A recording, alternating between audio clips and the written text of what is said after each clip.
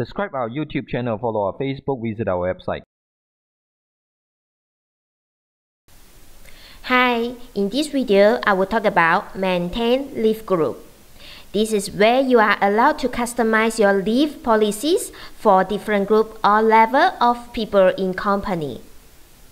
Once you done the setting in maintain leave type for different nature of the leave, firstly point to leave and select maintain leave group.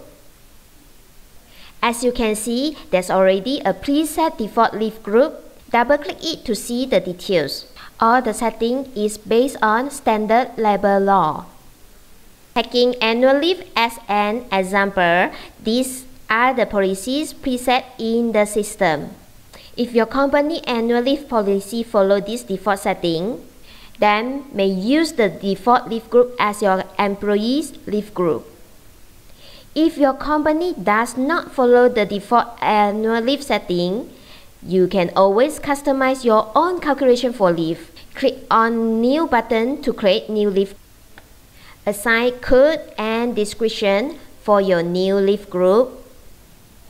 Click here to calling out the entitled table column. Click plus button to select the entitled leave type for this particular leave group. Point to the entitled table, click on the three dots button to call out the row bar for you to key in your company compliance leave policy. Example 1 to 10 years, 20 days. 11 to 15 years, 25 days. 16 and above 30 days. Once done, click OK and the new calculation will be clearly stated out. Then click Save. After done setting for leave group, remember to assign it accordingly under Maintain Employee. Go to Grouping, indicate it under the leave group, then save it. That's all for today's video.